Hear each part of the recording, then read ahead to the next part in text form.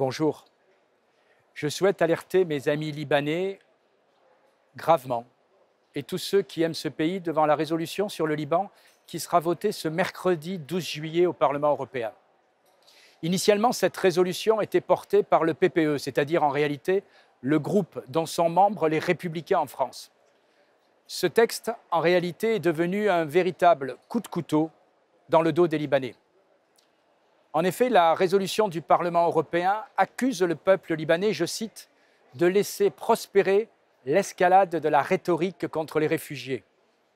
Le Parlement européen accuserait presque l'un des peuples les plus accueillants du monde de xénophobie. Pire, il appelle au maintien, une fois de plus, des réfugiés syriens sur le sol libanais plutôt qu'à leur rapatriement en Syrie.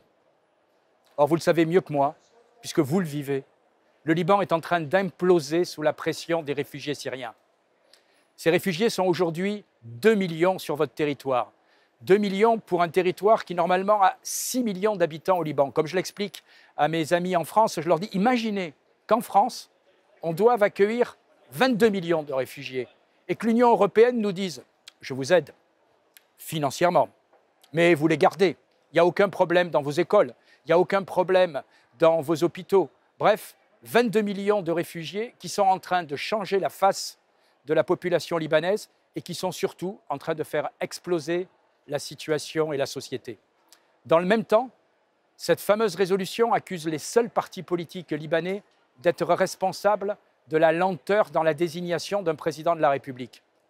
Or, n'importe quel observateur du dossier sait qu'Emmanuel Macron, notamment, en soutenant sans limite un candidat qui était inacceptable, pour la majorité des chrétiens libanais, fait partie aujourd'hui des responsables de cette situation qui s'éternise. Alors, nous pouvons tirer trois conclusions. D'abord, le Parti populaire européen, donc c'est-à-dire d'abord les républicains, ont cédé et trahi leurs interlocuteurs libanais qui étaient venus les supplier de changer enfin de position sur la question des réfugiés syriens. Ensuite, le Parlement européen sera respecté au Liban quand il cessera définitivement sa politique d'ingérence et ses menaces de sanctions, alors même qu'il prétend défendre la souveraineté du pays.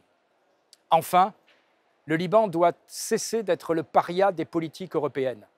Nous n'avons aucun intérêt à ce que la pression sur la livre libanaise se maintienne et accélère encore l'émigration des cadres du Liban. Oui, une refondation politique est nécessaire au Liban, mais elle doit être faite par les Libanais avec tous les Libanais et pour tous les Libanais.